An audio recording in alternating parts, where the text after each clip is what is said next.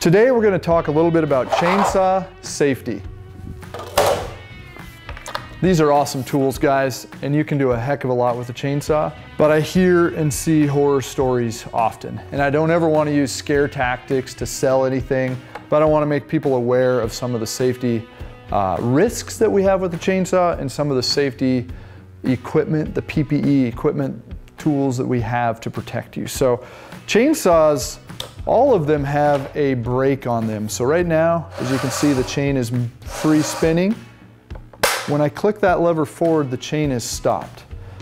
Now, if a chainsaw is running, I'm never gonna do that. Let me point that out first. But the purpose of the brake is, is when I am cutting, and if I'm cutting with the tip of the bar here, there's quite the likelihood that I could get kickback. So if I'm cutting with the tip of the bar and not doing it properly, that chainsaw could kick back. And guess what? It ain't gonna happen that fast. It's gonna happen like that. Did you hear that brake? a chain stopped immediately. I've had one experience where I've had a chainsaw kick back on me and I sat down for about 10 or 15 minutes after that and thought about life for a little bit and cleaned my pants out.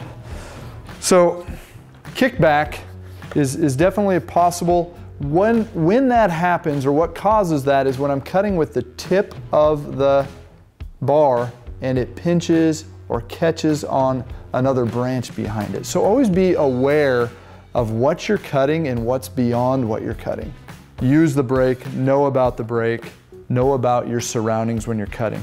Whenever I'm carrying a chainsaw and it's idling, I always engage the brake. So if I'm moving from a cut over here and I'm walking over here, I'm gonna make sure I have that brake on. But let's back up. We just got into brakes and all that stuff. We didn't even talk about how to start a chainsaw, right? And how to be safe there. Well, the first thing is, is I need to make sure that I'm outfitted, right? I've got the right stuff on. Eyes, very important. We always want to protect our eyes. Legs. Let me tell you a little story. In the year 2019, one weekend I got two pictures sent to me from different buddies, different friends that have been cutting wood for years, know how to run a chainsaw very well. Both of them had pretty massive cuts on their legs from cutting wood with a chainsaw. Both of them did not have a pair of chaps. So I highly recommend, not only do I highly recommend, I, I almost make it mandatory, you should have chaps, right? So chaps, every time I'm gonna go out and run a chainsaw, I want chaps. And they simply clip on around your waist and your legs. They're fairly adjustable in uh, in size, and then you can get different lengths. But really I'm trying to protect my shins and the fronts of my legs. There's several different layers of chaps that, that you can get. There's six layer and there's nine layer, but let me explain what those layers are. If you see this white stuff, there's six layers of this quilt batting. And as soon as a chain were to nick this outer protective layer, this stuff just shreds. You see that? How it just shreds. And that fiber will stop a chain almost immediately.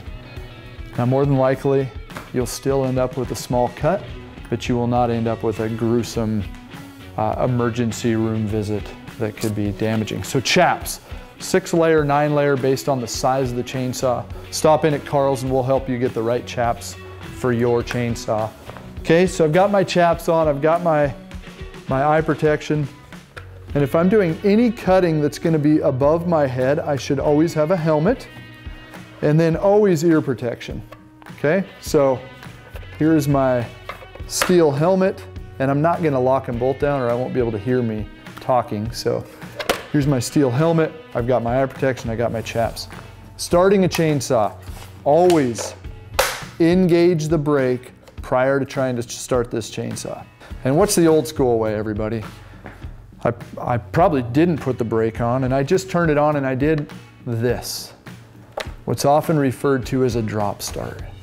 Not a safe way to start a chainsaw. I'm in no control of the saw at that point in time. So there's two recommended ways to start a chainsaw. One is, is simply the leg lock like this, where I'm holding the handle with my right hand and the handle is between, the rear handle is between my legs and I pull like that. The other is to put it down on the ground, put my foot through here, hold down, and, and start it that way. Okay? So safe starting is a big thing. Safety material, safety wear is even more so important. So chaps, helmet, earmuffs, safety glasses. I covered some of the scary stuff of chainsaws, right?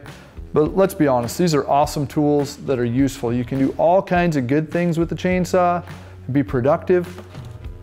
They aren't all bad. Just make sure you're outfitted with the proper safety stuff and understand how to operate this machine correctly. Stop into Carl's today and we'll help get you all set up.